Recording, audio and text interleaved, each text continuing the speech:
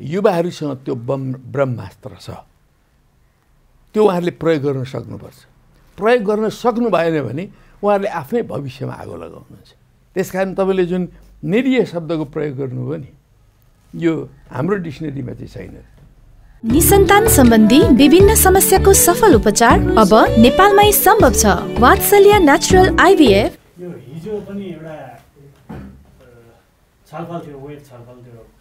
उसमा जुममा त्यसमा पनि सुन्यौँ हामीले। त्यहाँ चाहिँ यहाँले बोल्सेविकै मेनसेविक र बोल्सेविकको सङ्घर्षदेखिकै अन्तर्राष्ट्रिय कम्युनिस्ट आन्दोलनको सन्दर्भसँग जोडेर नेपालको कम्युनिस्ट आन्दोलनको हिस्ट्रीलाई पनि जोडेर यो अहिलेको घटनालाई व्याख्या गर्नुभएको थियो। अब त्यसरी यो अन्तर्वार्तामा धेरै विस्तृत त फेरि त्यसलाई दोहोऱ्याउनु त अब सम्भव नहोला छोटो छोटो नै सानै अन्तर्वार्ता हुन्छ। तर अहिले चाहिँ जुन नेकपाभित्र विभाजन आयो। एकता पछाडि निकै ठुलो उत्साहको सञ्चार पनि भएको थियो। अब स्थायी सरकार विकास मुलुकले बाटो पक्रिन्छ भन्ने मान्छेलाई आशा लागेरै झन्डै दुई बहुमत पनि दिएका थिए। अब नेकपाको एकता त जोगिएन जोगिएन। अदालतले नै त्यो ढङ्गको गरिदियो र अदालतले नगरे पनि एक ढङ्गको झगडा जस्तो भइसकेको पनि थियो। तर एमाले चाहिँ एकधिका भइदियो हुन्थ्यो भन्ने पनि कार्यकर्ताको शुभेच्छुकको सबैको चाहना छ। तर त्यस्तो हुँदा हुँदै यो झन्भन्दा झन् बढी दरार देखा पर्दै गयो। फुर्छनै जस्तो स्थितिमा पुग्यो। खासमा यसको चाहिँ हाम्रो सन्दर्भमा भन्दाखेरि यो एमाले भित्रको यो स्थिति सिर्जना हुनुमा चाहिँ के यसको राजनीतिक वैचारिक अर्थ चाहिँ त्यसको कारण चाहिँ के होला? यो अरू मान्छेहरू त भन्छ नि व्यक्तिगत सम्बन्ध आदि इत्यादिका कारणले स्वभावको कारणले भन्ने बेग्लै हो। यसको खास सैद्धान्तिक राजनीतिक खास गरी सैद्धान्तिक र राजनीतिक भनौँ न। राजनीतिकमा यसमा चाहिँ अझ वैचारिक पनि भनौँ यसको चाहिँ कारण के छ भनेर जेएन कामरेडलाई कुरा गरिसकेपछि हामीले अलिकति त्यो कारण खोज्न लागेको यसलाई अब कम्युनिस्ट पार्टी कम्युनिस्ट आन्दोलनमा एकताको कुरा गरिरहँदा एकता भनेको भिडभाड जम्मा गरेर धेरै मान्छेहरू एक ठाउँमा आएर टाउको जोडेर अङ्कमाल गरेर कुनै स्वार्थको आधारमा जुटेर एकता हुँदैन। कम्युनिस्ट पार्टीको एकता भनेको जहिले सुकै पनि वैचारिक राजनीतिक कार्यदिशाको आधारमा नीतिको आधारमा सिद्धान्तको आधारमा लक्ष्यको आधारमा र निश्चित विधि र पद्धतिको आधारमा हुने गर्छ। यी कुराहरू टुटफुट हुन थाले। यी कुराहरूमा विचलन पैदा हुन थाल्यो र यी कुराहरूमा देब्रे वा दाहिने भड्काउहरू सिर्जना हुन थाल्यो भने कम्युनिस्ट आन्दोलनभित्रको एकता टुट्दै जान्छ। बिस्तारै त्यो भत्किँदै जान्छ।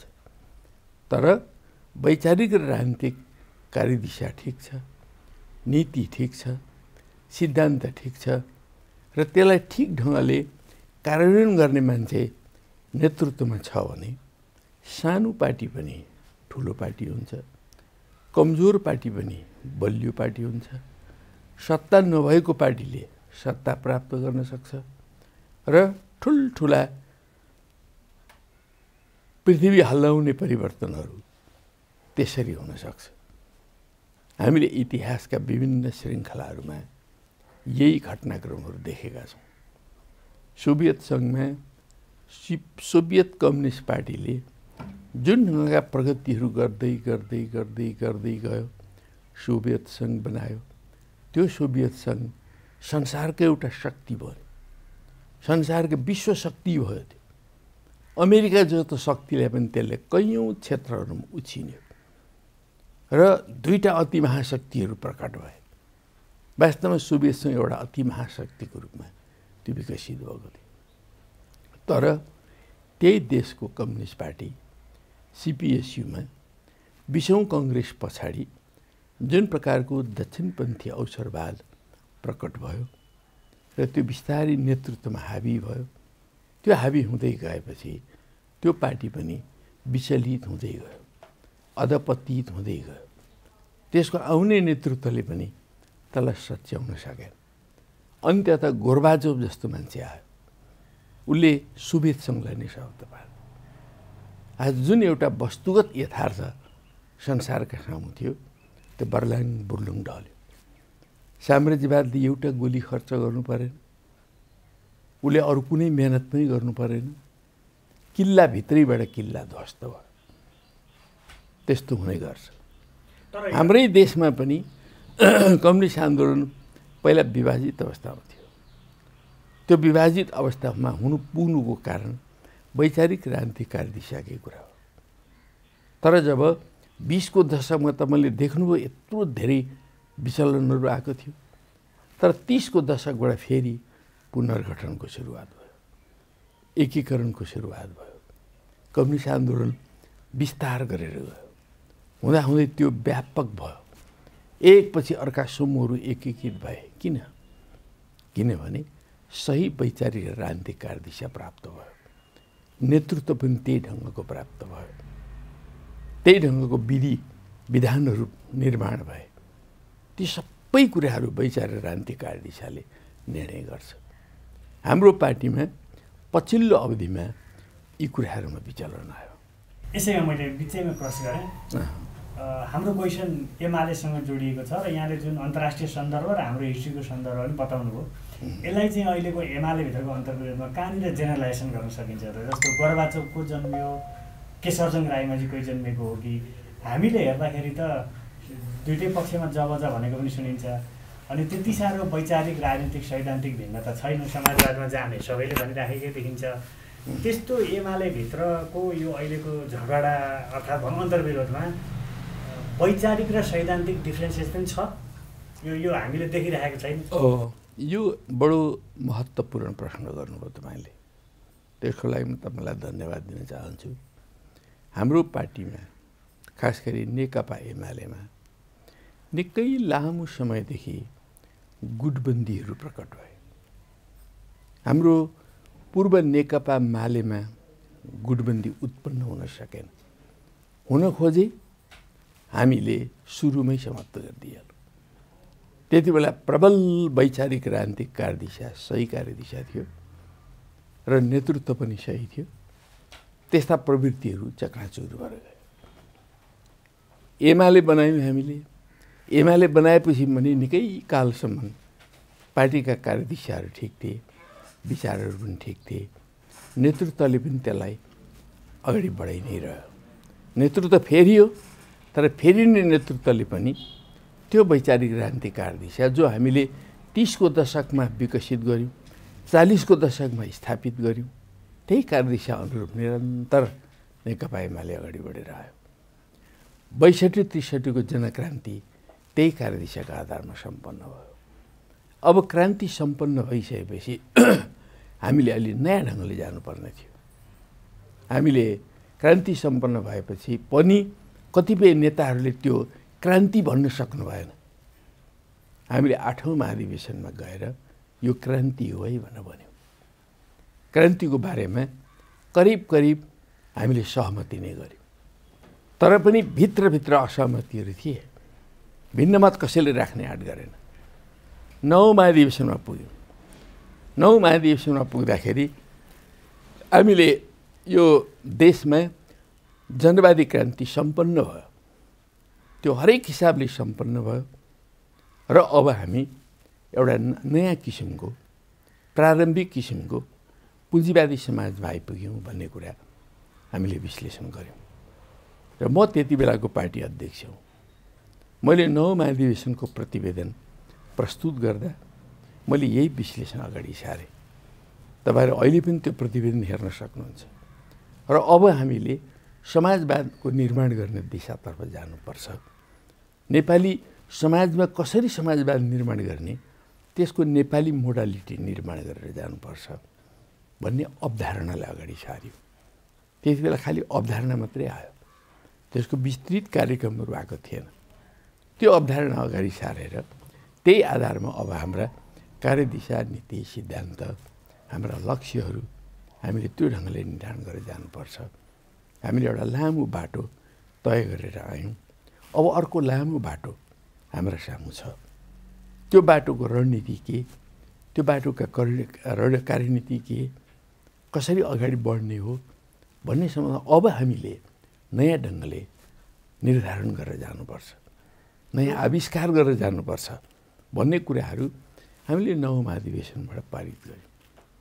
तर विचार चाहिँ यस्तो पारित भयो।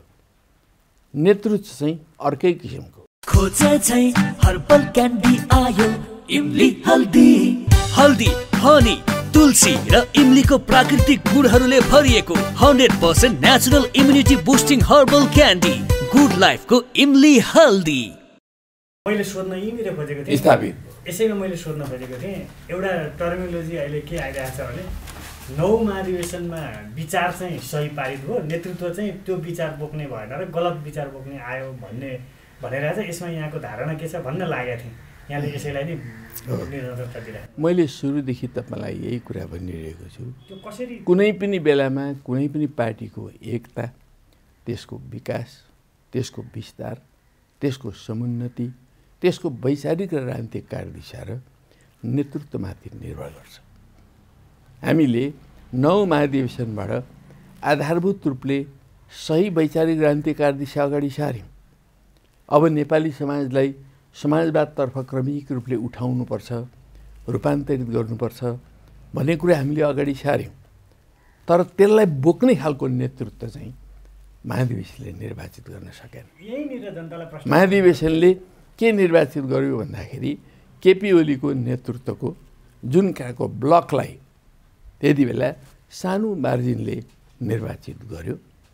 वास्तवमा त्यही निर्वाचनदेखि यतातिर आएर हाम्रो पार्टीमा विचलनको सुरुवात भयो। यसमा म अलिकति उत्खनन गर्न चाहन्छु कामरेडबाट यो जनतालाई प्रश्न होस् भनेर। जस्तै एउटा सन्दर्भ छ।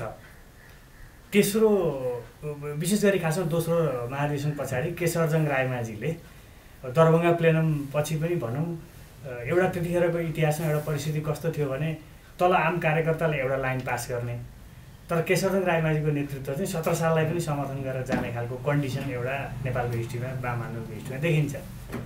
झन्डै झन्डै त्यस्तो स्थिति त्यसलाई योसँग अहिलेको नेतृत्वसँग तुलना गर्न मिल्छ कि मिल्दैन एक एउटा। अर्को अलिकति यसमा चाहिँ केही दोषी प्रमाणसहित भनिदिनु पऱ्यो कि नौ महाधिवेशनले पारित गरेको दस्तावेज अर्थात् कार्यदिशालाई ओलीजीको नेतृत्वले कसरी चाहिँ समातेको छैन त? जस्तो माओवादीसँग एकता भयो एकीकृत पार्टी निर्माण भयो सरकारमा त्यत्रो बहुमत लिएर जान सक्ने खालको वातावरण पनि भयो। उहाँले भनिराख्नु भएको छ धेरै सरकारले कामहरू पनि राम्रो राम्रो कामहरू पनि गरिराखेको छ। भनिसकेपछि यहीँनिर आम मानिसले बुझ्ने गरी अहिलेसम्म व्याख्या हुन नसकेको के हो भने नौ महादेशको कार्यदिशा र ओलीजीको नेतृत्वको बिचको कन्ट्राडिक्सन चाहिँ कहाँनिर छ? एकदमै यो कुरा चाहिँ प्रष्ट पार्ने गरी भन्दाखेरि कसरी व्याख्या गर्न सकिन्छ?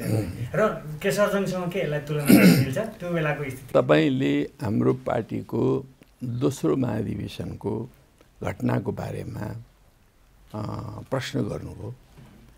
यथार्थमा अब यो दुःखद कुरा हो तर दोस्रो महाधिवेशनको घटना फेरि एकपटक हाम्रो पार्टीमा दोहोरिन पुगेको छ। दोहोरियो कसरी भन्नुहुन्छ भने हाम्रो पार्टीभित्र निकै समय अगाडिदेखि गुटबन्दी विकसित हुँदै आएको थियो। कमेड केपी ओलीको नेतृत्वमा एउटा गुट खडा भयो। पार्टीको छैटौँ राष्ट्रिय महाधिवेशनकै कालखण्डदेखि यो गुट खडा भयो। त्यो गुटले मदन भण्डारीको नाउँमा मदन भण्डारीको नामलाई मजाएर एउटा गुट खडा गर्यो। मदन भण्डारी फाउन्डेसन भन्ने। त्यो फाउन्डेसनका शाखाहरू भन्दै हरेक जिल्लामा कमिटीहरू बनाउँदै हिँड्यो। त्यो वास्तवमा पार्टी विरोधी गुट थियो त्यो। त्यो गुटलाई हामीले सुरुमै त्यस्तो प्रकारको गुटलाई चाहिँ निरूपण गर्न सक्नुपर्थ्यो। हामीले निरूपण गर्न सकेनौँ। पार्टी नेतृत्वले जुन गम्भीरतापूर्वक त्यति बेला नै लिनुपर्थ्यो त्यसलाई गम्भीरतापूर्वक लिनेर गुटबन्दीलाई सुरुवातमै त्यसका चरित्रहरू निरूपण गरेर त्यसका गतिविधिहरू निर्माण गरेर त्यसका परिणामहरूको विश्लेषण गरेर त्यसलाई निरूपण गर्नु पर्थ्यो। त्यो नगर्दाखेरि त्यो गुट हुर्किँदै गयो। अनेकन प्रकारका साधन स्रोतहरूको परिचालन गर्ने एउटा अनुकूलताहरू पनि बढेर गए। र त्यो गुटबन्दी झन् झन् घनीभूत भएर गयो। र हामीले आठौँ महाधिवेशनमा आइपुग्दाखेरि सातौँदेखि आठौँको बिचमा हाम्रो देशमा एउटा ठुलो परिवर्तन भयो। बैसठी त्रिसठीको जनक्रान्ति सम्पन्न भयो। त्यो सम्पन्न भइसकेपछि हामीले संविधान सभाको निर्वाचन गऱ्यौँ। त्यो संविधान सभाको निर्वाचनमा तत्कालीन महासचिव कमरेड माधव कुमार नेपालले आफू पराजित भएको हुनाले र पार्टी पनि पराजित भएको हुनाले उहाँले नैतिकताको आधारमा राजीनामा दिनुभयो। त्यसपछि पार्टीले मलाई फेरि त्यसको जिम्मेवारी दियो। मलाई महासचिव बनायो। मैले क्रमशः अब पार्टीलाई आठौँ राष्ट्रिय महाधिवेशनतर्फ सङ्गठित गरेर लानुपर्छ भनेर मैले पार्टीलाई अगुवाई गरेँ। त्यति बेला उग्र वामपन्थ नेपाली कम्युनिस्ट आन्दोलनमा झन्डै झन्डै हाबी थियो र त्यसका विविध अभिव्यक्तिहरूका विरुद्ध हामीले वैचारिक सङ्घर्षलाई पनि गहिरो बनाएर लग्यौँ। पार्टीका सही क्रान्तिकारी कार्यदिशाहरूलाई अझ हामीले समृद्ध पनि बनायौँ। त्यो समृद्ध बनाउने क्रममा पार्टी सङ्गठनमा नयाँ रक्त सञ्चार भयो नयाँ जीवनी सञ्चार भयो नयाँ आत्मविश्वास विकसित भयो कार्यकर्ताहरूमा पनि त्यही ढङ्गको आत्मविश्वास विकसित भयो। हामी त्यो गुटबन्दीका विरुद्ध लडि नै रह्यौँ। त्यो गुटबन्दीले विभिन्न ढङ्गले पार्टीलाई सताउने काम गरि नै रह्यो। हामी त्यसका विरुद्ध पनि जुत्दै रह्यौँ। तर नौ महाधिवेशनसम्म आउँदा पनि त्यो गुटलाई हामीले उन्मूलन गर्न सकेनौँ। त्यो उन्मूलन गर्न नसकिनुका पछाडि हाम्रै साथीभाइहरूको सहयोग त्यो गुटबन्दीलाई धेरै मात्रामा पुगिरह्यो। त्यसले गर्दा गुटबन्दी मौलाउँदै गयो। र नौ महाधिवेशनमा पुगेपछि हाम्रो पार्टीको नेतृत्वमा भएको जुन चाहिँ नि महाधिवेशन हो त्यो महाधिवेशनमा वैचारिक क्रान्ति कार्यदिशाहरू त। म आफै नेतृत्वमा भएको हुनाले हामीले ती कुराहरू अगाडि सार्यौँ। महाधिवेशनको दस्तावेजहरूको ड्राफ्टिङ कमिटीको अध्यक्ष मै थिएँ र विभिन्न दस्तावेजहरू हामीले बनायौँ। हामीले प्रतिवेदन बनायौँ हामीले सङ्गठन प्रस्ताव बनायौँ हामीले पार्टीको विधान बनायौँ। यस्ता दस्तावेजहरू हामीले निर्माण गरेर ती कुराहरूलाई हामीले पारित गऱ्यौँ। त्यो ठिकै ढङ्गले पारित भयो। तर नेतृत्व निर्माण गर्दाखेरि चाहिँ कमेडी केपी ओलीको नेतृत्वको चाहिँ समूह निर्वाचित भएर आयो जो पारित भएका विचारहरूसँग प्रतिबद्ध थिएन। त्यो प्रतिबद्ध थिएन र बिस्तारी पार्टीमा जाने दक्षिणपन्थी भड्काउहरू हाबी हुँदै गए। हिजोको जुन गुटबन्दी हो त्यो गुटबन्दी पार्टीको नेतृत्वमा नै पुग्न सक्यो। र त्यसले गर्दाखेरि सिङ्गो पार्टीलाई एउटा गुटले शासन गर्ने खालको स्थिति भयो जुन सही विचार बोक्ने साथीहरू हुनुहुन्थ्यो ती साथीहरू पार्टीमा दबाइन थाले। उनीहरूमाथि उत्पीडन हुन थाल्यो। पार्टी व्यापी रूपमा उत्पीडन हुन थाल्यो। पार्टी व्यापी रूपमा ती साथीहरूलाई जहीँ सके पनि पाखा लगाउने केन्द्रमा पनि सकेसम्म पाखा लगाउने। केन्द्रमा पदाधिकारीमा त त्यही धारले जित्यो। चौधजना प्रदा पदाधिकारी मध्ये हामीले आठजना जित्यौँ। सचिवहरू पनि त्यही ढङ्गका साथीहरूले जित्नुभयो त्यही समूहका साथीहरूले जित्नुभयो। तर चाहिँ नि पार्टी केन्द्रीय कमिटीमा सामान्यता उहाँहरूको अलिकति बहुमत भयो। थोरै झिनु बहुमत झिनु। र तलका जिल्लाहरूमा पनि जिल्लाहरूमा हाम्रो धारालाई प्रतिनिधित्व गर्ने साथीहरू नै धेरै जिल्लाहरूमा चालिस पैँतालिस जिल्लाहरूमा हाम्रा साथीहरू नै निर्वाचित हुनुभएको थियो। र पार्टी भित्रभित्रै दुईवटा समूहमा जस्तो बाँडिन थाल्यो। दुईवटा समूह दुईवटा विचार समूहहरू। यो दुईवटा कुनै व्यक्तिका गुट भन्दा पनि केपी ओलीले नेतृत्व गरेको एउटा दक्षिणपन्थी भड्काउले ग्रस्त गरेको समूह र पार्टीका सही वैचारिक राजनीतिक कार्यदिशाहरूलाई प्रतिनिधित्व गर्ने अर्को समूह। यो दुईवटा समूहहरू प्रकट भएर यो दुईवटा समूहको बिचमा अन्तर सङ्घर्ष बडा मन्द रूपले अगाडि बढ्दै गयो। केही अवधिसम्म यसले त्यस्तो तीव्रता लिएन।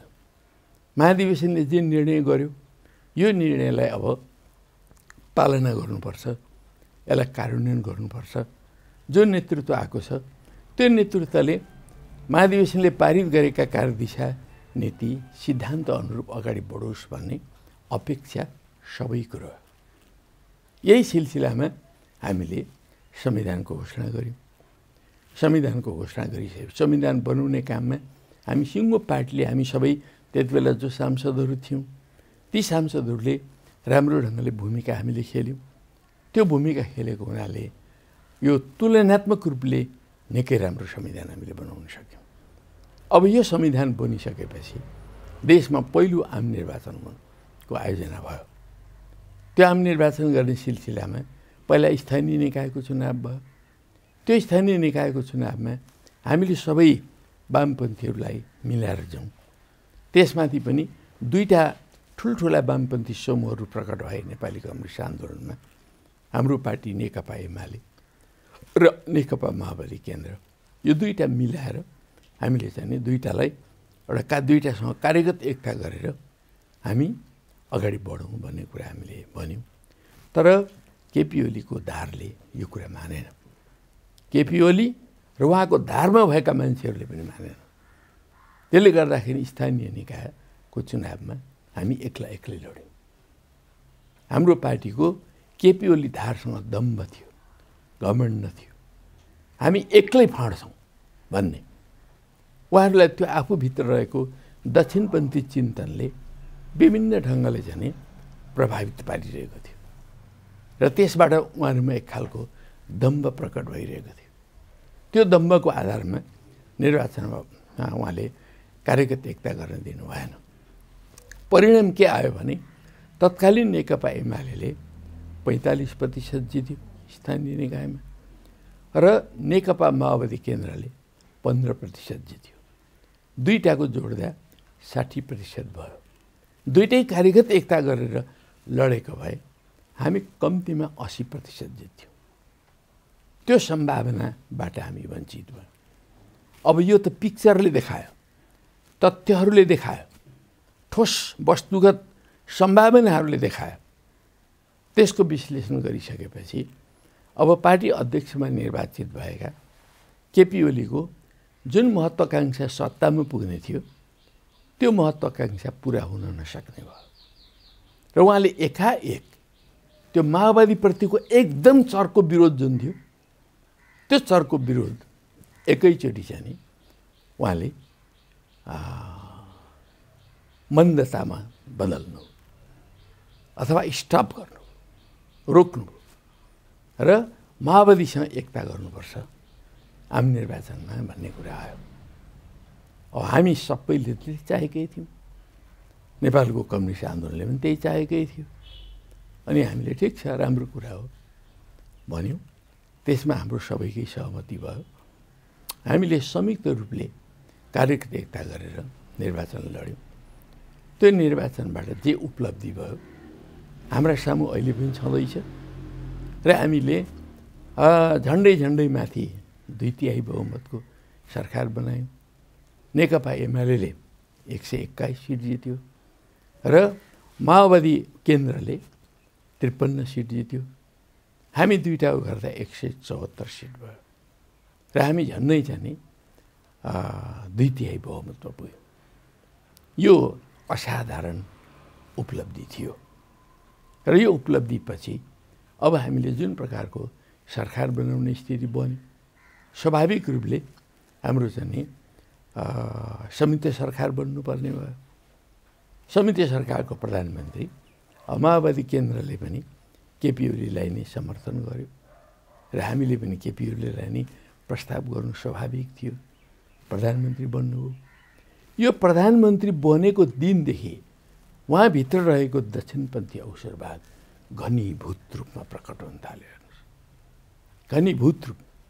त्यसका अभिव्यक्तिहरू के हुन् भन्दा सबभन्दा पहिलो कुरा भनेको उहाँले क्याबिनेट फर्मेसन गर्दाखेरि माओवादी केन्द्रका साथीहरूलाई त लिनुपर्ने भयो नै। त्यति बेलाको नेकपा एमालेको तर्फबाट अरू कसैलाई मान्छे पनि ठान्नु भएन उहाँले। टोटल्ली आफ्नो गुरु गुटका मान्छेहरूलाई लिएर उहाँले क्याबिनेट फर्मेसन गर्नु एक लौटी क्याबिनेट फर्मेसन गर्नु त्योभन्दा कति सिनियर सिनियर अनुभवी मान्छेहरूलाई तल राखेर छोडेर उहाँले आफ्नो गुटका मान्छेहरूलाई राख्नु के उद्देश्यको लागि? पार्टी त सबैको थियो नि। सबैलाई समेट्नु पर्थ्यो नि समेट्नु भएन। उहाँले गुटभन्दा बढ्दा केही पनि देख्नु भएन। यो दक्षिणपन्थी चिन्तनको सबभन्दा पहिलो अभिव्यक्ति थियो। यो दक्षिणपन्थी चिन्तनले उहाँलाई अब केन्द्रीकरणतर्फ लग्यो हेर्नुहोस्। सत्ताको केन्द्रीकरणतर्फ कम्युनिस्ट पार्टीले त जनतालाई पो शक्ति दिँदै जान्छ त। विकेन्द्रीकरण पो गर्दै जान्छ त। अधिकार जनतालाई चाहिँ हस्तान्तरण गर्दै जान्छ। जनतालाई अधिकार सम्पन्न बनाउँदै जान्छ। किनभने जनता सार्वभौम सत्ता सम्पन्न जनता हो। जनता इतिहासका चालक हुन् जनता निर्णायक शक्ति हुन्।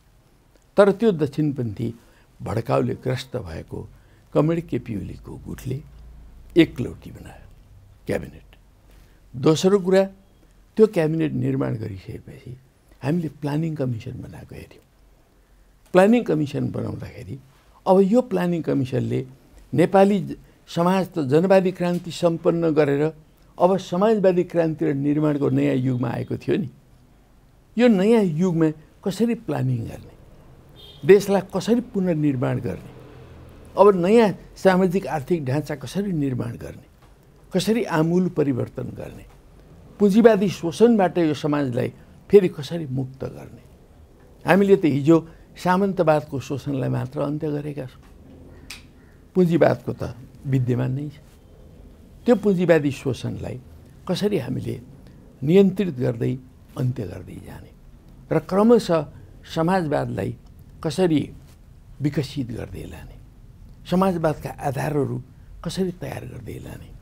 यो आवश्यकता थियो देशका सामु यो वस्तुगत आवश्यकता थियो।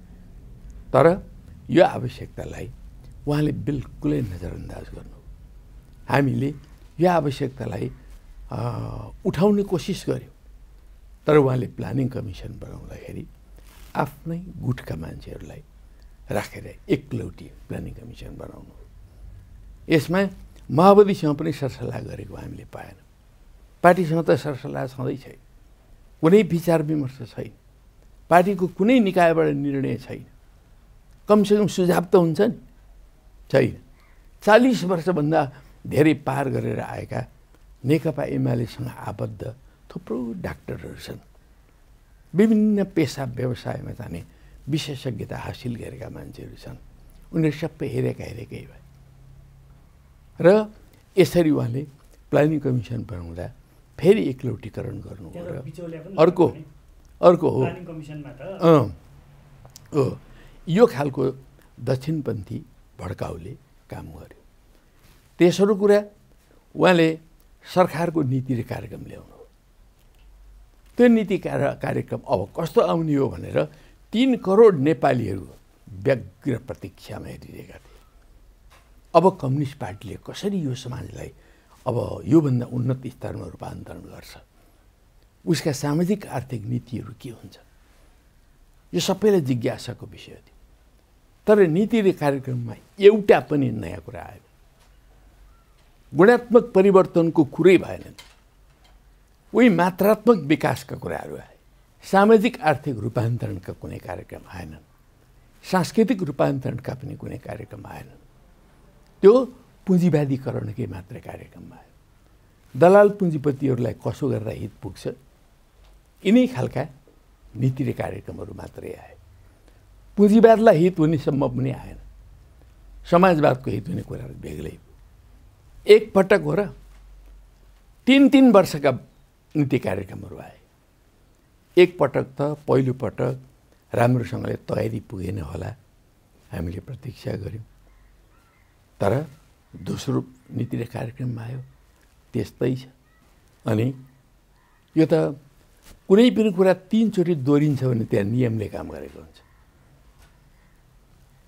त्यसरी नै उहाँले चाहिँ नि तिन तिनवटा नीति कार्यक्रम ल्याउँदाखेरि उहाँ बिल्कुलै एउटा पुँजीवादपन्थी र दक्षिणपन्थी अवसरवादको दलदलतर्फ लागेको कुरा प्रष्ट देखियो। यो दक्षिणपन्थी अवसरवादको अर्को एउटा अभिव्यक्ति हो। त्यसपछि बजेट आयो। बजेट एकपछि अर्को बजेट आयो। तिन तिनवटा बजेट आए ती बजेटहरूले देशलाई के माग गरिरहेका थिए कसरी हाम्रो आर्थिक अर्थतन्त्रलाई रूपान्तरण गरिन्छ? स्वतन्त्र अर्थतन्त्र कसरी निर्माण गरिन्छ? सामन्तवादका अवशेषहरूलाई कसरी उन्मूलन गरिन्छ? कृषि क्रान्ति अब कसरी हुन्छ? भूमि क्रान्ति अब कसरी हुन्छ? शिक्षामा क्रान्ति अब कसरी हुन्छ? हाम्रो देशको स्वास्थ्य व्यवस्थामा कसरी क्रान्ति हुन्छ? यो देशका साधन स्रोतहरूलाई जनताको हितमा जनतालाई मालिक बनाउने गरिकन उपयोग गर्ने कुरा कस्ता आउँछन् पोलिसी जनताले यो खोजिरहेका थिए। केही पनि पाएन। केही पनि पाएन। बजेटमा पनि नयाँ गुणात्मक परिवर्तनका कुराहरू आएन। जहाँसम्म सडक बनाउने कुरा छन् पुल बनाउने कुरा छन् यी त जसले पनि त गर्दै आएका कुराहरू हुन् नि। पञ्चायतकालमा पनि हुँदै आए। छ्यालिस साल पछिका सरकारहरूले पनि कुरा गर्दै आए। त्यसैको निरन्तरता मात्रै हो भने अब कम्युनिस्ट पार्टीको नयाँ क्रान्तिकारी नेतृत्वको के आवश्यकता थियो त? जनताले खोज्दै गए तर पाएन। पाँचौँ कुरा भनेको हाम्रो पार्टीले नेकपा माओवादी केन्द्रसँग समेत मिलेर निर्वाचनमा संयुक्त घोषणापत्र गरिसार्यो त्यो संयुक्त घोषणापत्रमा हामीले दर्जनौँ दर्जन प्रतिबद्धताहरू प्रकट गरेका छौँ। सिङ्गो हाम्रो सामाजिक आर्थिक क्षेत्रमा हामी कसरी रूपान्तरण गर्छौँ? अर्थतन्त्रलाई कसरी रूपान्तरण गर्छौँ? हामी कृषिलाई के गर्छौँ?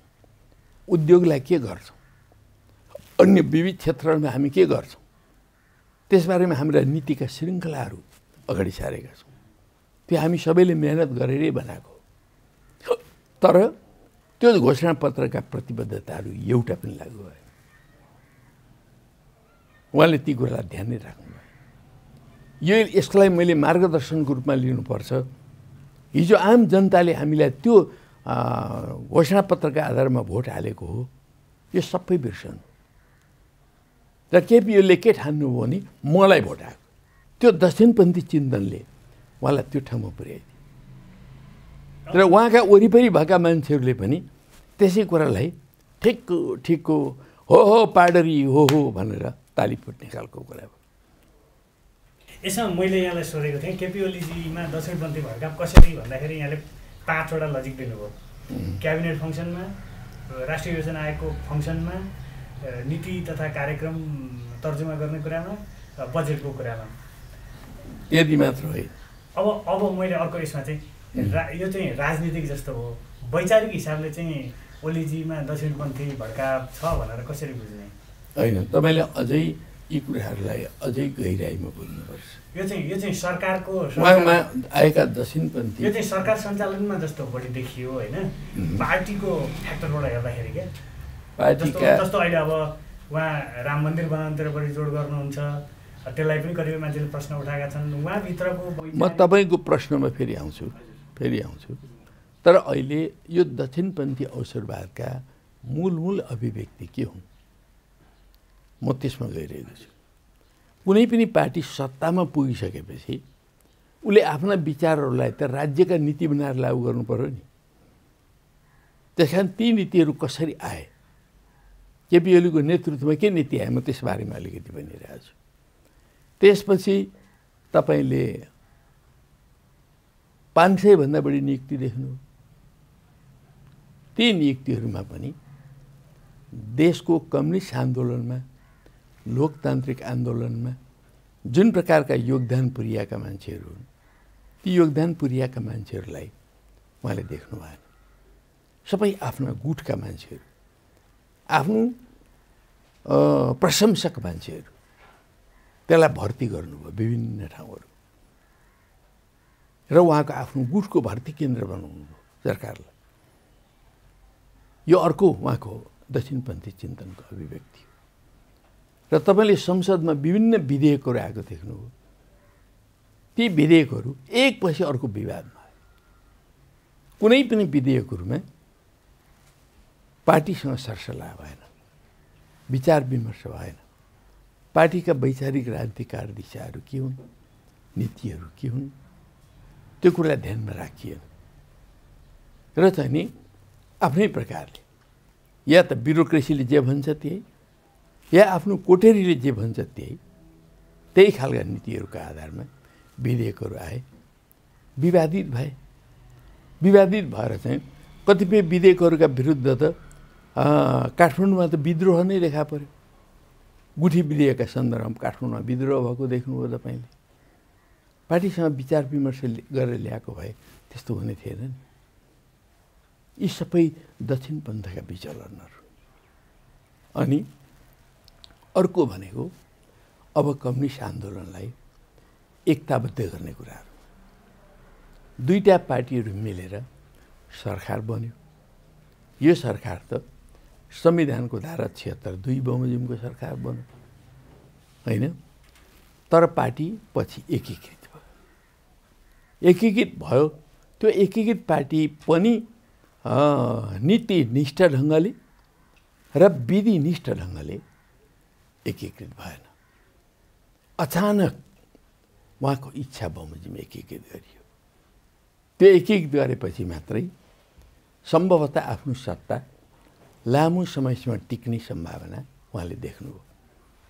र त्यो आफ्नो सत्तालाई टिकाउने कुराहरूको निम्ति के गर्नु उपयुक्त हुन्छ ती मात्रै कदमहरू उहाँले चाल्न थाल्नु।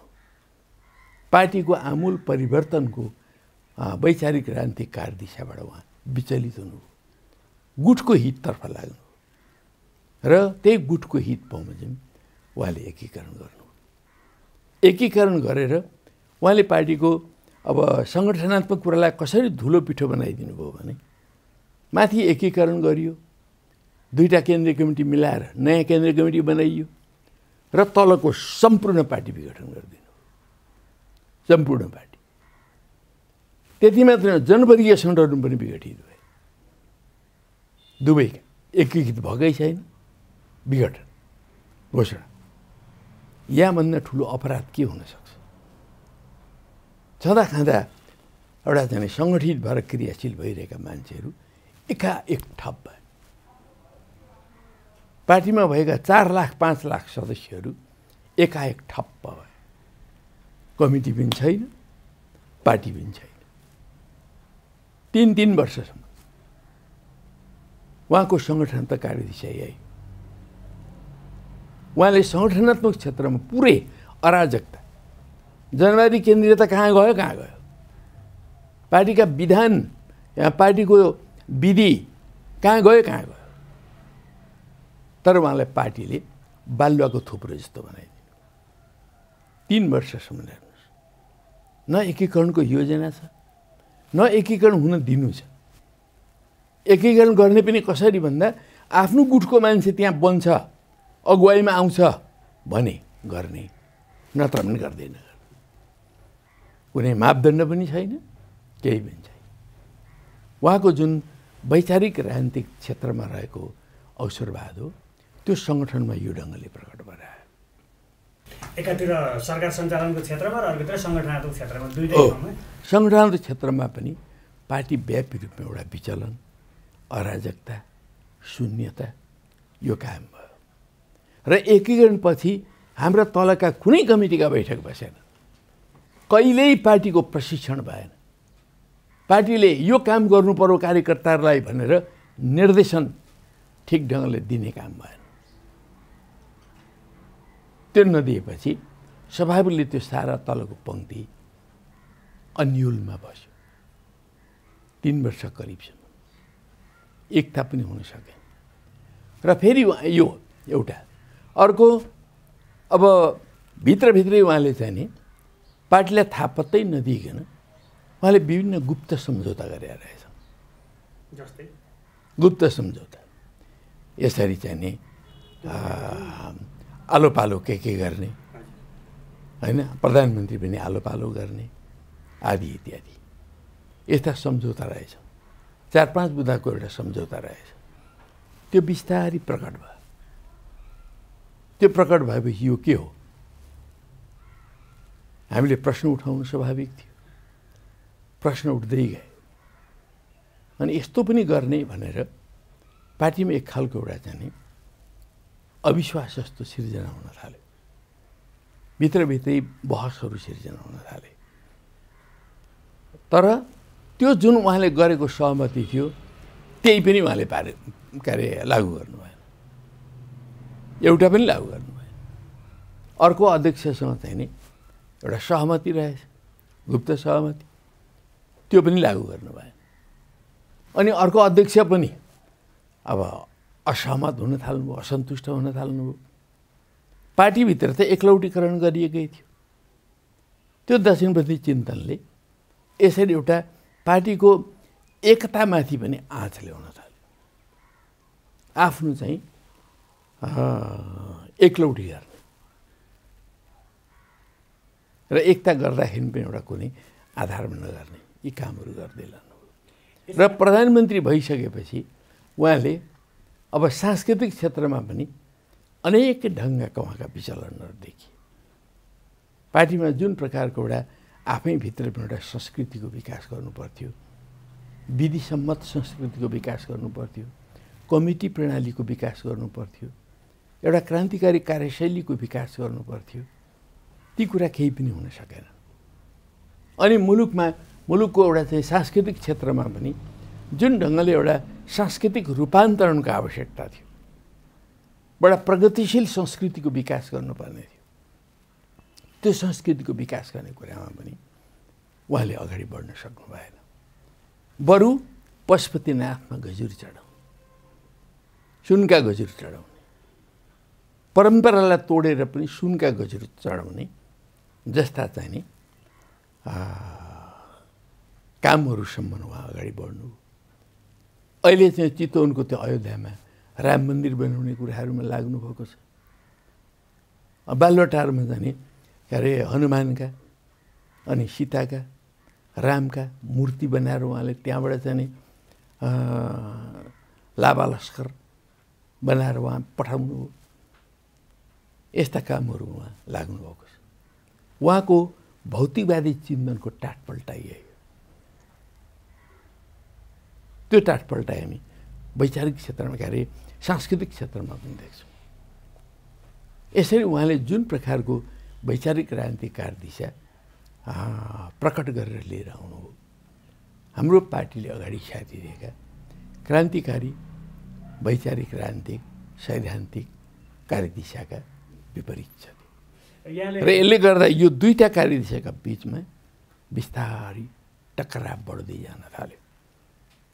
यसको परिणामस्वरूप पार्टी एकता भएको पार्टी पनि खतम भयो। र अहिले एमालेभित्र पनि यो खालको स्थिति आयो। यहाँले केपी ओलीभित्रको दक्षिणपन्थी भड्काप भन्नुभएको थियो पहिले एउटा शब्द प्रयोग गर्नुभएको थियो र यसको व्याख्या पनि गरिदिनु भयो यो के हो त्यो कसरी जस्टिफाई हुन्छ भनेर हामीले सोध्यौँ होइन? अब त्यसो भएदेखि यो खालको व्याख्या गर्नु भने यो खालको स्थिति हो भने चाहिँ अब ओलीजीसँग किन मैले यो क्वेसन सोध्दैछु भने एमालेको एकता बचोस् भन्ने धेरै मान्छेको चाहना देखिन्छ। कार्यकर्ताहरूको स्वाभाविकै हो नि त्यो शुभेच्छुक र कार्यकर्ताहरूको चाहना देखिन्छ। यहाँले अहिले गरेको व्याख्या अनुसार भन्ने हो भने त केपी ओलीसँग अब सम्झौताहीन सङ्घर्ष हुन्छ कि सम्झौताको कुनै बिन्दु पनि हुन्छ त? यो यो यो यो हिसाबले हो भने त अब अहिलेको जुन सङ्घर्ष छ यसको चाहिँ मिलन बिन्दु छ त त्यसो भए? वैचारिक र सैद्धान्तिक सङ्घर्षको क्षेत्रमा सम्झौताहरू हुन सक्दैन। नीतिनिष्ठ सङ्घर्षहरू हुन्छन् सम्झौताविहीन सङ्घर्ष हुन्छ। राजनीतिक क्षेत्रमा सम्झौताहरू हुन्छन् विभिन्न सम्झौताहरू हुन्छन्। कहिलेकाहीँ राजनीतिमा पछाडि हट्नुपर्छ। कहिलेकाहीँ फड्को मारेर अगाडि बढ्नुपर्छ राजनीतिमा त्यस्ता कुराहरू आउँछन्। तर सिद्धान्तमा कहिले पनि मोलतोल हुँदैन। विचारमा मोलतोल हुँदैन। उहाँसँग अहिले वैचारिक र राजनीतिक दुवै क्षेत्रमा छ। सङ्घर्ष छ। र यो सङ्घर्षले नै पार्टीको रूपान्तरणलाई निर्धारण गर्छ। अहिले आम कार्यकर्ताहरूमा यो पार्टीको एकता बचे हुन्थ्यो। यो एकदमै ठुलो भावना छ। हामी बुझिरहेका छौँ त्यो भावना। हामी देखिरहेका छौँ। म पनि पार्टीको एकता जोगाउन पाए हुन्थ्यो त्यही ठान्छु। त्यस कारणले हामी अहिले अन्तर सङ्घर्षको एउटा विशिष्ट प्रक्रियाबाट अगाडि बढिरहेका छौँ। यो पार्टीभित्रको अन्तर सङ्घर्ष हो। अन्तर सङ्घर्षहरू कहिलेकाहीँ तपाईँले आनका तान ठुलो एउटा मत भिन्नताको अवस्थामा देखा परे पनि तिनीहरू क्रमिक रूपले अगाडि बढेर एउटा सहमतिमा पुग्न सक्छन्। रूपान्तरण हुनसक्छ मान्छेले गल्ती कमजोरीलाई महसुस गर्दै गयो भने रूपान्तरण हुनसक्छ कहिलेकाहीँ मान्छेले पोजिसन छोड्छन्। मैले सकिनँ। नयाँ मान्छेहरूले काम गर्नुहोस् पोजिसन छोड्छन्। त्यसरी पनि एउटा सहमति कायम हुन्छ। तर विचार र सिद्धान्तमा मोलतोल हुँदैन सम्झौता हुँदैन। यहाँले छयालिस सालमा मदन भण्डारीलाई स्वेच्छापूर्वक नेतृत्व हस्तान्तरण गरेको उदाहरण छ। मदन भण्डारीको- पनि एउटा सङ्केत गर्नुभयो कसैले सकेन भने अर्कोलाई छोड्न सक्छ। एमालेको यो यत्रो आम कार्यकर्ताको भावना अनुसार एमालेको एकता बचाउने तपाईँसँग कुनै सूत्र छ? किनभने तपाईँ त पटक पटक नेतृत्व गर्नुभएको अभिभावक हो नि त पार्टीको त। त के सूत्र के सूत्र छ? यो यो केही सूत्र जस्तो अब खोज्नुभयो माधवजीले मेरिट होटलमा दुई दिनसम्म छलफल भयो केही पनि निस्केन आज बल्ल पेलेर तेल निस्किँदैन भन्नुभएको छ जनकपुर पुगेर। के सूत्र छ होला यो एमालेलाई मिलाउनु? यो यो अरू अब नेकपा- भन्दा पनि यसको व्यवहारिक हिसाबले हेर्दाखेरि नेकपा एमालेलाई मिलाउने भनेको सबैभन्दा निर्णायक कुरा यसको वैचारिक राजनीतिक कार्यदिशा र नीति नै हो। यसमा मिल्दै मिलिएन भने मिल्न धेरै गाह्रो हुन्छ। तर यसलाई मिलाएर लिएर जान सक्ने तागत भनेको हाम्रो देशको यो पार्टीमा यो कम्युनिस्ट आन्दोलनमा युवा क्रान्तिकारीहरूसँग त्यो तागत छ। उहाँहरूले त्यो तागत आफ्नो चाहिँ नि प्रयोगमा ल्याउन सक्नुपर्छ। हामी- म जति बेला युवा थिएँ मैले बिस वर्षको उमेर हुँदाखेरि मैले नेपाल कम्युनिस्ट पार्टी इलाम जिल्ला कमिटी गठन गरेको थिएँ। मलाई कुनै नेताले निर्देशन दिएर त्यति बेलाको नेतृत्वले मार्गदर्शन गरेर बनाएको होइन। मैले आफ्नो दिमागले जे कुरा बुझेँ र यो बुझेको हुनाले यो देशमा कम्युनिस्ट पार्टी बाहेक अरूले यो देश बचाउन पनि सक्दैन यो देशलाई प्रगतितर्फ लान पनि सक्दैन। त्यस कारण कम्युनिस्ट पार्टी नै बनाउनुपर्छ भनेर मैले कम्युनिस्ट पार्टीको भूमिगत रूपले निर्माण थालेँ दुई हजार छब्बिस सालबाट। त्यसपछि मैले देशभरिका सारा कम्युनिस्ट नेताहरूसँग भेटघाट गरेँ कुराकानी गरेँ। त मैले आफूलाई नेतृत्व गर्ने खालका मान्छेहरू पाइनँ नेताहरू पाइन्। बत्तिस सालमा पुग्दाखेरि हामी आठवटा जिल्लाका साथीहरू मिलेर हामीले नयाँ ढङ्गले कोर्डिनेसन बनाऊँ। सबै कम्युनिस्टहरूलाई एउटा वैचारिक राजनीतिक कार्यदिशाका आधारमा एकताबद्ध गरौँ र नयाँ ढङ्गले एकीकृत पार्टी निर्माण गरौँ भन्ने थालनी गऱ्यौँ। त्यति बेलाका बुढापाकाहरूले पार्टीलाई एकीकरण गरे होइन हेर्नुहोस्। युवाहरूले गरेको। त्यसपछि हामीले हामी आठजना मिलेर यो नयाँ अभियानको थालनी गऱ्यौँ। पुनर्गठनको अभियान एकीकरणको अभियान। यही अभियानको अन्तिम संस्करण हो नेकपा एमाले र नेकपा माओवादीको एकीकरण। हामीले त्योभन्दा अगाडि कम्तीमा पनि पैँतिसभन्दा बढी समूहहरू एकताबद्ध गरेर आयौँ। यहाँले एउटा शब्द पनि प्रयोग गर्नुभयो। अब भए अहिले पनि फेरि अब बुढाहरूबाट पार लाग्दैन यो। अब तपाईँ त्यस्तो देख्नुहुन्छ कि? सत्तरी वर्षभन्दा पार गरेका वा पार गरिरहेका कुनै पनि नेताहरूबाट देशको कम्युनिस्ट आन्दोलनलाई अब सम्याएर लाने कुराहरू भन्दा उनीहरूले आफ्ना अनुभवहरू दिएर युवाहरूलाई अगाडि बढाएर युवाहरूलाई चाहिँ अ, अग्रपङ्क्तिमा राखेर जिम्मेवारीहरू दिएर अगाडि बढाउन सक्नुपर्छ। अब केपी ओलीले आफू जतिसुकै गरे पनि केपी ओलीले नेतृत्व गरेको समूहलाई पनि केपी ओलीले अगाडि बढाउन सक्नुहुन्न। उहाँले आफ्नो नेतृत्वमा भएका धेरै युवा मान्छेहरूको भविष्य अब अन्धकारतर्फ हाल्दै हुनुहुन्छ। उहाँले एकीकृत भएको पार्टी फुटाउनु हो। अब नेकपा एमाले पनि उहाँको जुन खालको क्रियाकलापहरू छन् त्यसले गर्दाखेरि चाहिँ विभाजन विघटनतर्फ जाँदैछ। हरेक दिन तपाईँ देखिरहनु भएको छ। आजै मात्र पनि कति स्थायी कमिटीका साथीहरूलाई पार्टीबाट निष्कासन गरेर अरू आफ्ना भारदारहरूलाई उहाँले भर्ती गर्नुभयो भन्ने म सुन्दैछु। भारदारहरू भर्ती गरेर विभिन्न रङ्गका चाहिँ उद्योगपति व्यापारीहरूलाई दलाल पुँजीपतिहरूलाई पार्टीमा भर्ती गरेर यो पार्टीलाई निरन्तर एउटा चाहिँ यसको वर्ग चरित्र अधोगतितर्फ रूपान्तरण गर्ने बाहेक उहाँले केही गरेको देखिँदैको छैन। यो दक्षिणपन्थी चिन्तनले ल्याउने कुरा त्यही हो। र त्यही काममा उहाँ लाग्नुभएको छ। उहाँको नेतृत्वमा अरूको भविष्य पनि समाप्त हुँदैछ।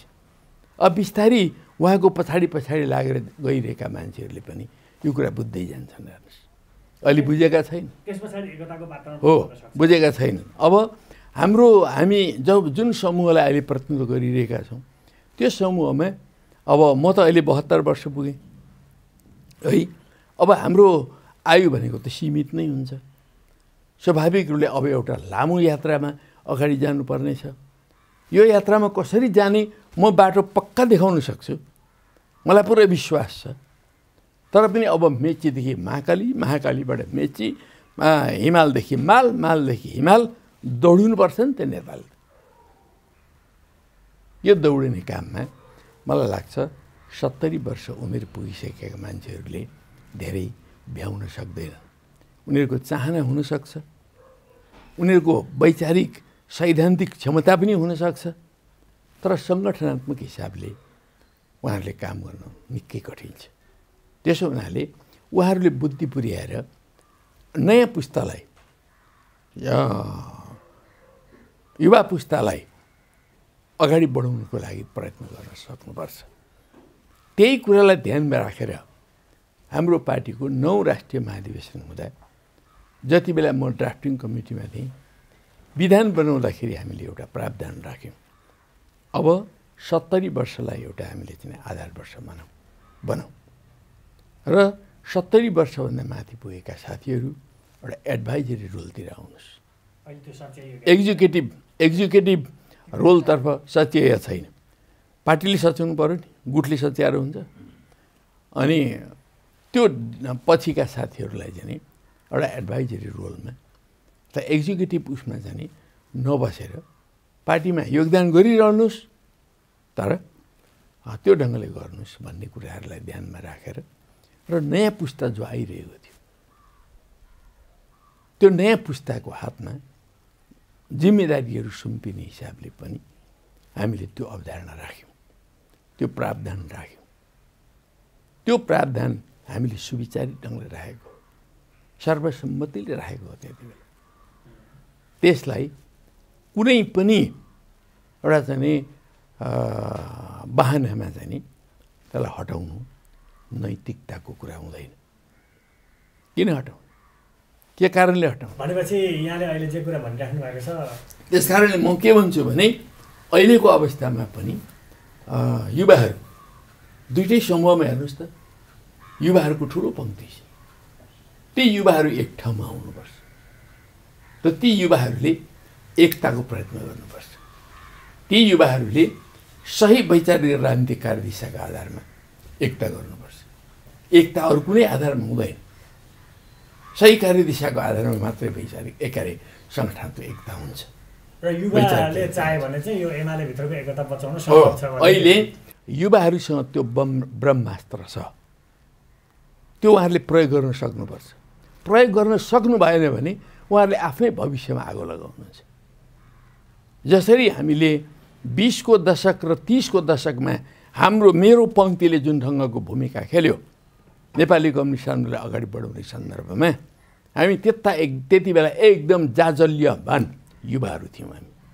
हामी अगार खान सक्थ्यौँ ढुङ्गा खान सक्थ्यौँ। त्यति बेला हामीसँग त्यो तागत थियो। र हामीले आँट गऱ्यौँ। कम्युनिस्ट आन्दोलन नयाँ ढङ्गले रूपान्तरण गर्ने नयाँ ढङ्गले एकीकरण गर्ने। गर्न सक्यौँ हामीले गरेको म दावाका साथ भन्छु हाम्रो पङ्क्तिले यो देशको कम्युनिस्ट आन्दोलन नयाँ ढङ्गले सम्यायो पहिलो पुस्ताले गर्न सक्नुभएको थिएन। उहाँहरूको लेगेसीलाई हामीले समात्यौँ। उहाँहरूका असल पक्षलाई समात्यौँ। उहाँहरूका असल परम्पराहरूलाई हामीले समात्यौँ। असल कार्यशैलीहरूलाई पनि हामीले समात्यौँ। र देशको विद्यमान परिस्थिति बदलिँदो परिस्थितिको हामीले ठोस विश्लेषण गऱ्यौँ लेनिनले भने जस्तै ठोस परिस्थितिको ठोस विश्लेषण गऱ्यौँ। त्यो ठोस विश्लेषण गरेर नेपाली क्रान्तिका कार्यदिशा के हुन् नीति के हुन् सिद्धान्त के हो नेपाली समाजको वर्ग विश्लेषण के हो यसका वर्गीय अन्तर्विधहरू के हुन् यसमा यो समाजलाई रूपान्तरण गर्ने कार्यक्रम कसरी निर्धारण गर्नुपर्छ रणनीति कसरी निर्धारण गर्नुपर्छ कस्तो बाटोबाट क्रान्तिलाई सम्पन्न गर्नुपर्छ त्यो सबै हामीले आविष्कार गरेको कुरा हो। हामीले मैले मार्क्स एङ्गल्सका भोलुमहरू पढेँ। लेनिनका पैँतालिसवटा भोलुम मैले चालेँ। स्टालिनका मैले चौधवटा भोलुम पढेँ। तर मैले कहीँ पनि नेपाली क्रान्तिको बाटो भेटिनँ। कहीँ पनि नेपाली क्रान्ति यसरी गर भन्ने कुरा छैन। ती सम्पूर्ण सैद्धान्तिक भण्डारहरूबाट मैले तिनवटा कुराहरू सिकेँ। एउटा सही दृष्टिकोण लिएर हिँड क्रान्तिकारी वर्ग दृष्टिकोण लिएर हिँड सर्वहारा वर्गीय दृष्टिकोण लिएर हिँड त्यो दृष्टिकोणमा अभिचलित हो निरन्तर एक दोस्रो सधैँभरि वर्गीय अडानमा बस वर्गीय अडान कहिले पनि नछोड वर्गीय अडानका साथ परिस्थितिको विश्लेषण गर समाजको विश्लेषण गर समाजका विभिन्न वर्गहरूको विश्लेषण गर सबभन्दा क्रान्तिकारी वर्ग भनेको सर्वहारा श्रमिक वर्ग हो। त्यो श्रमिक वर्गको हितलाई सर्वोपरि राखेर समाजवादको लक्ष्यलाई सर्वोपरि राखेर अगाडि बढ। दोस्रो मैले सिकेको कुरा। तेस्रो मैले सिकेको कुरा नयाँ मेथड मार्क्सवादी मेथड द्वन्द्वात्मक भौतिकवादी मेथड विश्लेषणात्मक मेथड। हरेक चिजको उत्पत्ति हुन्छ। विकास हुन्छ र त्यसको अन्त्य हुन्छ। हरेक चिज गतिमा मात्रै बाँच्न सक्छ। जसको गति अन्त्य हुन्छ उसको मृत्यु हुन्छ। यी मेथडहरू। मैले सिकेँ। यी तिनवटा चिजहरू मैले मार्क्सवादबाट मार्क्सवादका विभिन्न ठेलीहरू विभिन्न नेताहरूबाट अध्ययन गर्दाखेरि सिकाए यी तिनवटा कुराहरू। र हामी जस कसैले पनि मार्क्सवाद पढेर अरू के के रोचक कहानीहरू? त्यो त विभिन्न देशका सङ्घर्षका कहानीहरू क्रान्तिका कहानीहरू सबै हेर्न पाइन्छ। ती क्रान्तिका कहानीहरू। तर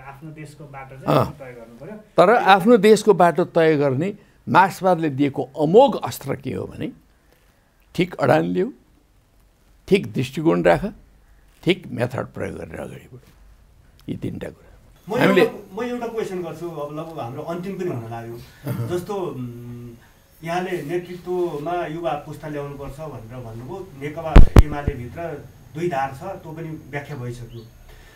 एकातिर केटी ओलीले नेतृत्व गर्नुभएको छ भने अर्कातिर तपाईँ र माधव कुमार नेपालले नेतृत्व गरिरहनु भएको छ। जस्तो अहिले यो बिचमा धेरै कुराहरू आएका छन् कि केटी ओलीले तपाईँहरू लगायतका तपाईँहरू पक्षीय नेताहरूलाई धमाधम कारवाही गरेर निमित टेन्न पार्ने अवस्था भइसक्यो। एक होइन? अर्को कुरो तपाईँहरू यत्रो समय भइसक्यो सङ्घर्ष गरेको। त्यो सङ्घर्षको परिणाम चाहिँ कहिले आउने? त्यो आउने देखिँदैन क्या हत्तपत्त किन यस्तो भइरहेको छ यो दुईवटा प्रश्नको जवाब दिनुपर्ने तपाईँको पहिलो प्रश्न म जान चाहन्छु। हामीलाई कारवाही गरेर हामीमाथि डन्डा देखाएर हामीमाथि अनुशासनका धाक धम्की दिएर हाम्रा हामीलाई समाप्त गर्न सकिँदैन सही विचारलाई समाप्त गर्न सकिँदैन। तर व्यावहारिक रूपमा निरीय त तपाईँलाई तपाईँलाई कसैले पदबाट हटाइदिन सक्छ ओहदाबाट हटाइदिन सक्छ। कुनै पनि पद र ओहदा भनेको अस्थायी कुराहरू। तपाईँको स्थायी कुरा के हो भन्दा तपाईँको विचार नीति हो सिद्धान्त हो हामीलाई विचार र नीतिबाट कसैले राजीनामा गराउन सक्छ कसैले हटाउन सक्छ कसैले पनि सक्दैन यी यस्ता पदहरू त आइरहन्छन् गइरहन्छन् तपाईँसँग पार्टीसँग सही विचार छ भने तपाईँले पद प्राप्त गर्न सक्नुहुन्छ तपाईँसँग सही विचार छैन अनि पार्टी पनि छैन तपाईँ निराश हुनुहुन्छ एउटा पदका निम्ति काम गर्नुहुन्छ भने तपाईँ केही पनि गर्न सक्नुहुन्छ समाप्त हुनुहुन्छ। त्यसो हुनाले हामी जो अहिले पार्टीलाई पुनर्गठन गर्नुपर्छ एकताबद्ध गर्नुपर्छ भनिरहेका छौँ हामी सिद्धिने शक्ति होइन। यो त नवीन शक्ति हो। अब नेपाली समाजमा नयाँ आशा जगाउने शक्ति हो। अब नेपाली समाज वास्तवमा समाजवादतर्फ जाने रहेछ है। नेतृत्वले चाहिँ गद्दारी गर्यो भने पनि त्यसका विरुद्ध जुधेर पनि यो आन्दोलन अगाडि बढ्ने रहेछ। यसको एउटा उदाहरण बन्ने छ यो। यसको एउटा नमुना बन्ने छ यो। त्यस कारण तपाईँले जुन निरीय शब्दको प्रयोग गर्नुभयो नि यो हाम्रो डिक्सनेरीमा चाहिँ छैन। त्यो तपाईँहरू जस्ता साथीहरूको डिक्सनेरीमा हुनसक्छ। तपाईँहरू डराउनु होला निरीय पनि बन्नु होला हामी हुँदैन। हामी भनेको बलिरहेको एउटा चाहिँ बत्ती जस्तै हो। बत्तीले अन्धकारसँग कहिले सम्झौता गर्दैन। मेरो शब्द निरीह भन्दा पनि तपाईँहरूकै कार्यकर्ताले प्रयोग गरेको शब्द मैले तपाईँलाई प्रयोग गरेको मात्रै हो होइन? होला मेरो मेरो कार्यकर्ता मध्ये कुनै एउटा व्यक्तिले तपाईँलाई त्यस्तो प्रयोग गरे हुनसक्छ तर हाम्रो समूहले त्यो प्रयोग गर्दैन। हाम्रो क्रान्तिकारी विचारले यस्तो कुरा प्रयोग गर्दैन। हामी एकबाट पनि अनेक हुँदै जान्छौँ सानोबाट हामी ठुलो हुँदै जान्छौँ कमजोरबाट हामी बलियो हुँदै जान्छौँ तर हामीले सही कुराको पक्षमा उभिन सक्नुपर्छ। कहिलेकाहीँ तपाईँमा धक्का लाग्न सक्छ।